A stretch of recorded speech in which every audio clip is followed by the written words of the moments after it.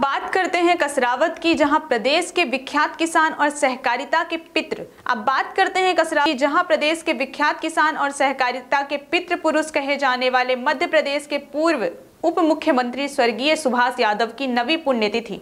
बोरावा स्थित यादव निवास पर मनाई जाएगी। इस अवसर पर बोरावा पहुँचे रावतपुरा सरकार द्वारा बोरावा गाँव में स्थापित शैक्षणिक संस्थानों का अवलोकन करते हुए कहा कि यह निमाड़ मालवा अंचल में संपूर्ण शिक्षा का सबसे बड़ा आधुनिक सर्व सुविधा युक्त केंद्र है। उन्होंने पूर्व केंद्रीय कृषि राज्य मंत्री अरुण यादव को सुझाव दिया कि वे अपने पिता स्वर्गीय सुभाष यादव की स्मृति में बोरावा गाँव में विश्वविद्यालय की भी स्थापना करेंगे। उन्होंने यहाँ के शैक्षणिक संस्थाओं में गरीबों और किसानों के बेटे बेटियों को रोज़गार और उन्मुख शिक्षा देने पर खुशी ज़ाहिर की। पूर्व केंद्रीय कृषि राज्य मंत्री अरुण यादव ने शनिवार को सुबह रावतपुरा सरकार को engineering college, pharmacy college BEd MEd college MCA college, Priyadarshini public school और सहकारी शक्कर कारखाने का अवलोकन कराया।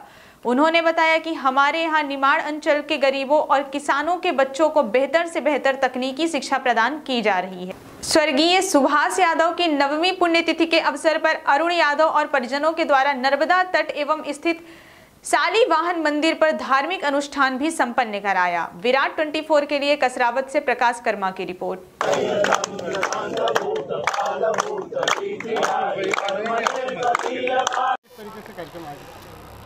स्वर्गीय पिताजी का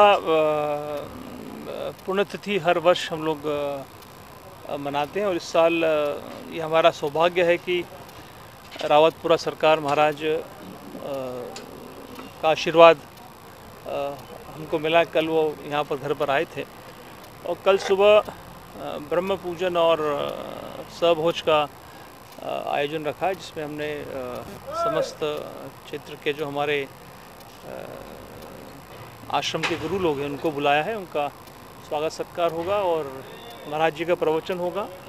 और उसके साथ ही सहभोज का आयोजन किया है। जिस तरीके से उनकी प्रसिद्धि सेता से तो काफ़ी संख्या में लोग आते हैं कुछ वीआईपी से भी आने की उम्मीद है।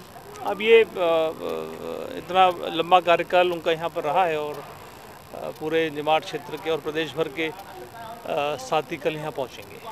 जिस तरीके से राज्य सरकार ने शिक्षण संस्थाओं का अवलोकन किया है तो क्या निश्चित रूप से कल कोई महाराज महाराज जी खुद ही बहुत सारे शिक्षण संस्थान चलाते हैं लगभग उनके आश्रम जो हैं प्रदेश भर में और छत्तीसगढ़ में बीस हज़ार से ज़्यादा बच्चे उनके संस्थानों में पढ़ते हैं, उनका आशीर्वाद कल हमको मिलने वाला है और हो सकता है कि उनकी कुछ जो इच्छा होगी उसको पूर्ति करने का हम भी काम करेंगे।